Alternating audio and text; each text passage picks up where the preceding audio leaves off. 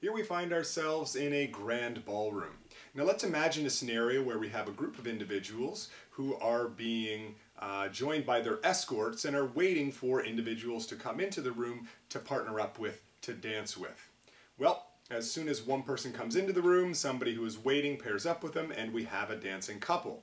And then the escorts go off and separate and congregate in other areas of the room and observe the dancing. And as more individuals come in, as soon as they come in, they're paired up. And so every time that a new individual comes in, they get paired up and they have a dance partner. And we have a dancing couple and we have escorts that are observing all of these dancing couples.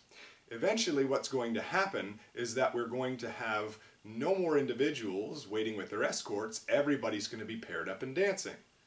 But uh-oh, there are more individuals coming into the room than there are individuals waiting. So eventually what happens is that we have all of these dancing couples except there are some individuals coming in and finding that they don't have a dance partner. What a dilemma. Now, what does this have to do with what we're going to discuss today, acid-base titrations? Well, it's, as you probably have imagined, an analogy we can talk about acids and bases that are in these titrations as being dancing couples that ultimately are going to make up water and some observant ions.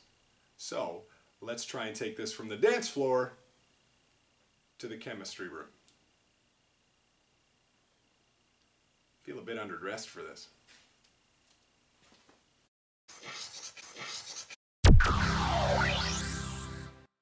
So if you've been in a chemistry lab or a science lab, you've probably seen a piece of equipment that is a long cylindrical glass tube and has a stopper on it.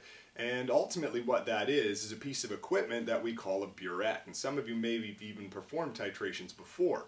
And ultimately what a titration is, is that it's trying to determine the concentration of an unknown solution by reacting it with a solution of a known concentration.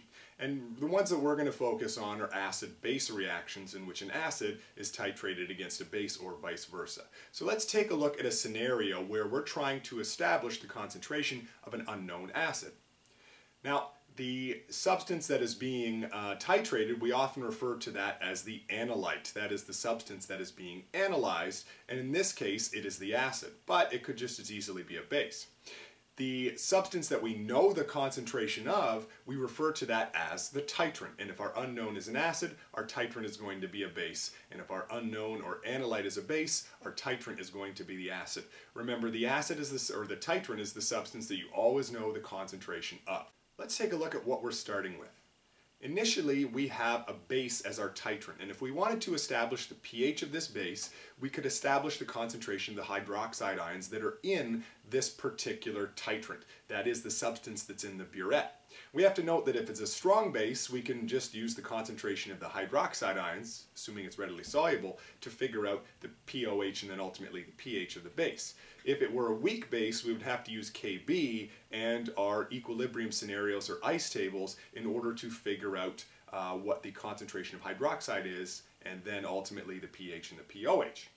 Now our analyte in this case is going to be an acid. And if it's a strong acid, we can just assume that the concentration of the acid, assuming it's a monoprotic acid, is going to be the concentration of the hydronium ions. And we could figure out its initial pH from there. If it's a weak acid, again, we would have to treat it as an equilibrium scenario, and we would have to figure out what the concentration of the hydronium is based on the Ka and the relationships between the acid and its resultant ions. Let's take a look at this titration as it progresses. As we first begin to add base, or our titrant, what we're going to notice immediately is that the volume is going to start to rise in our Erlenmeyer flask containing the analyte or unknown we're going to notice that since the volume rises, the concentration of the acid is going to decrease, partly because the volume of the solvent has increased, but also because the hydroxide ions that are being introduced are reacting with the hydrogen or hydronium ions and are producing uh, the products. We're also going to start to notice that the concentration of the salt is going to increase as well.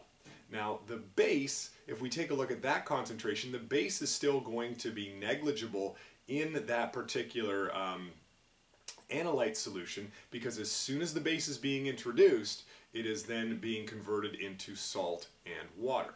Now as we continue to add more and more of the base, or ultimately the titrant, what we're going to reach at some point is something called a midpoint. And once we've hit that midpoint, that's when half of the acidic hydrogens have reacted. Remember, in our case, we're looking at that analyte as being acidic. In the case of it being basic, it would be half of the hydroxides. But when half of them have been uh, reacted in this process, we have reached our midpoint. So what we have is still half of the acidic hydrogens unreacted, and now we have a concentration of the salt. And effectively, at midpoint, those two concentrations are equal. So the concentration of the hydrogen ions has come down, the concentration of the salt has gone up, and at midpoint, those two concentrations are equal. Now, what we have here is we still don't have any base in the solution. Okay, because as soon as it's introduced, it's used.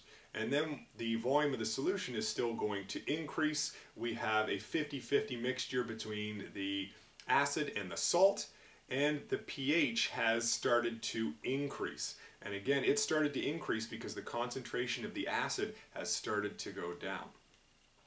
All right, we're going to continue through this, and as we do, eventually we're going to reach something which is really the purpose of going through these types of uh, activities, going through these titrations, and that is to reach something called the equivalence point.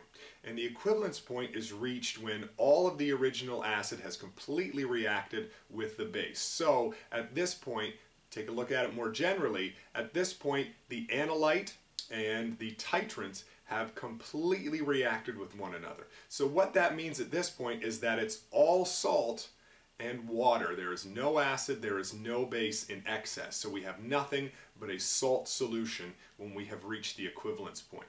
There's still no uh, significant amount of base or acid in the solution at this particular time. The volume has increased significantly from when we first started the titration in most cases, and the pH and this is important here, the pH could either be neutral, basic, or acidic.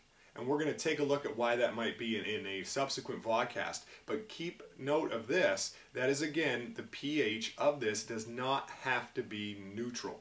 Even though there may be no acid or no base, it doesn't mean that the solution itself is neutral. We can also go past the point of equivalence. That is, we can over titrate a solution. We can add more of the uh, titrant than is needed to reach equivalence. So once we do that, we have over titrated and we're going to have excess titrant.